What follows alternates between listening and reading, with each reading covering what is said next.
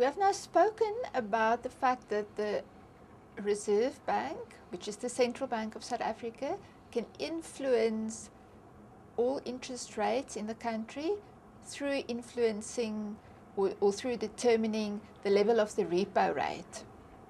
But we have not really given attention to all the different interest rates that exist in the economy. So now we are going to talk a little bit about this.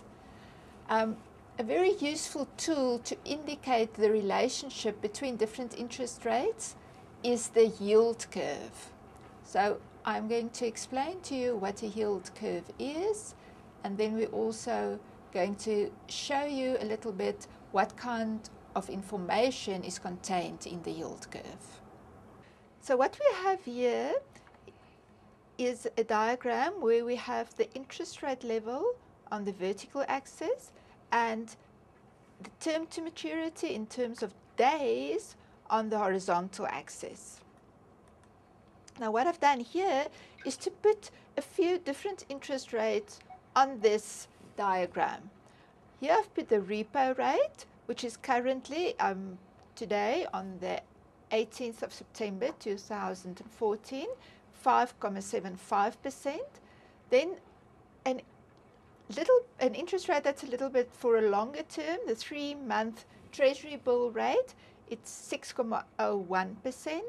The six month treasury bill rate, 6.14. Then I've also put the a, a bond rate, the R157, which is going to expire in 2014 at the end of this year, so it's going to run for a few weeks more. That was at 6.62 and then I've put the R186, which is only going to expire in 10 years' time, in 2026, um, and that interest rate was 8.08%. Now, the purpose of this is just to show you that the longer the term to maturity, the higher the interest rate will usually be. And this will usually be the shape of the yield curve. Now, the reason for this is that the future is uncertain and therefore there is more risk attached to investing in a longer term instrument such as a 10 year bond. You don't really know what's going to happen to in the future. You don't really know what's going to happen to inflation rate, how much the rand is going to be worth. So there's more risk attached to investing in a longer term instrument.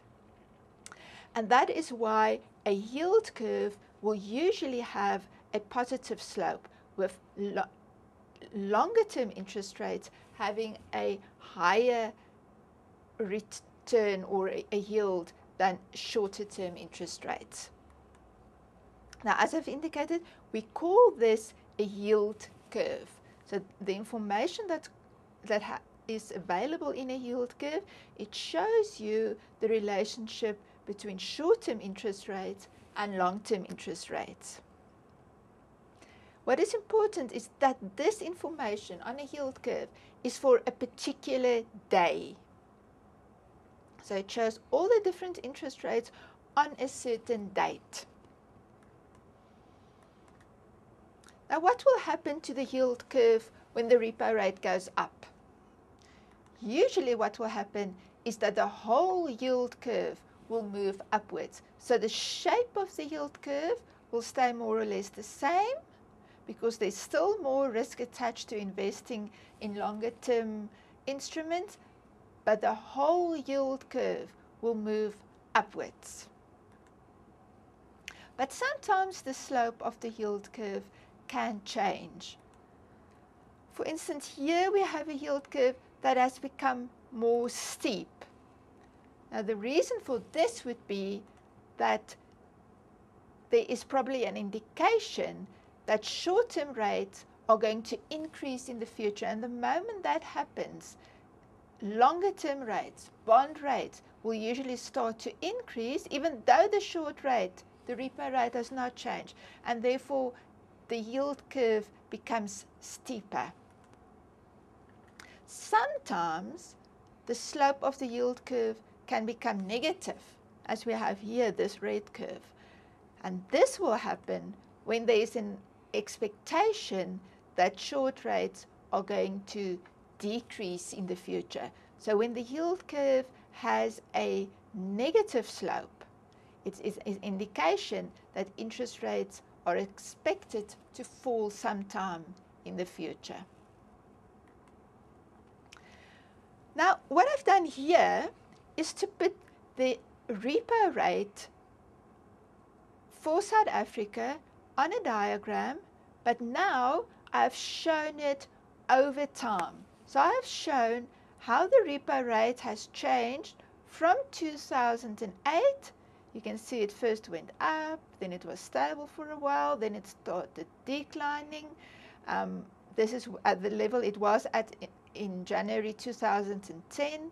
Then it declined, was stable for a long time, declined a little bit, was stable for a long time, and now recently we've had a few increases in the repo rate. So this shows, this graph shows you how the South African benchmark interest rate, which is the repo rate, has changed over time. So it's not the same as a yield curve, and we call this a time series. It shows how a variable has changed over time. Now, what would you use this for? What I've done here is to put two different variables so that you can see it is possible to use such information contained in a time series or contained in two time series to compare what has happened to the inflation rate. Here I've shown the South African inflation rate for the same time period. What has happened to the inflation rate when the repo rate was changing like this? Or put a different way, how has the inflation rate reacted to changes in the repo rate? So this time series analysis can be very helpful to see if there's a relationship between different variables. You can put all different kinds of variables on such a time series diagram and compare them to each other. Right, so what you have to be able to do is you have to be able to define a yield curve. You have to be able to define a time series. You have to be able to distinguish between the two as far as interest rates are concerned. And then you also have to be able to explain the information that can be contained in a yield curve.